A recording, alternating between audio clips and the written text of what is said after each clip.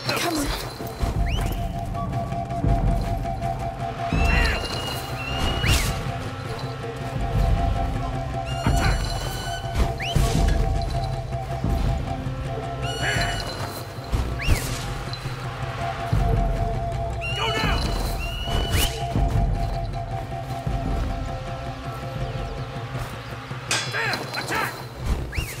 Up and over.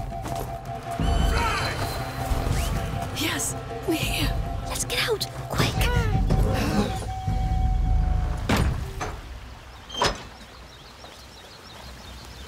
Oh, that was close. But we did it. That bird was awful. Now where's that damn Arnaud? Listen, sword noises. Yes, yes, quick.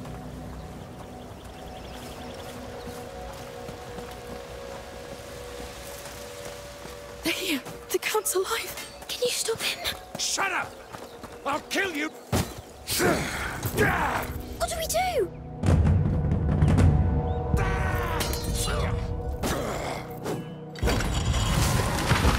No!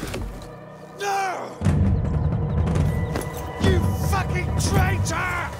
You did this to yourself! So this is his army? A girl and a boy? No, wait! Victor, stop! Emilie.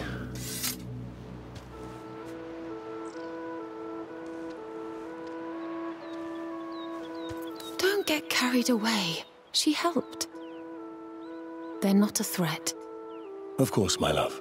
I'll kill you, bitch, Count! I'll teach you what it is to lose what you care for! You've always been a disgrace to the knighthood, Arnaud. But you've been a pain in my ass for too Are you all long. right? Lock him up. I'll handle that later. So where do you know this beast from? We shared a boat and had time to chat on the way, but I didn't know he was after you, sire.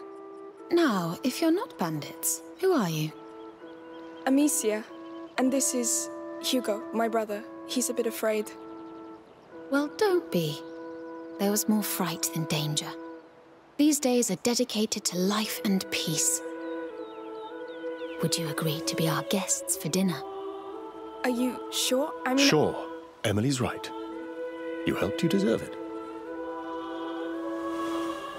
Come with us.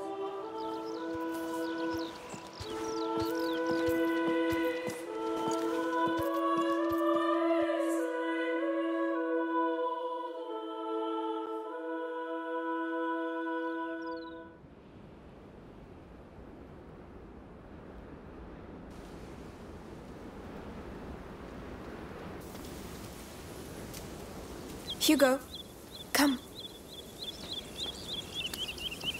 So, how do you like our terrace? This is really your house. This is home.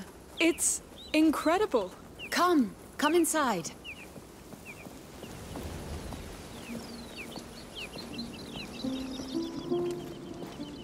Oh, it's big. It is. And it's only a small part of the palace. Oh, do you fancy some dates before we show you to your room? Dates?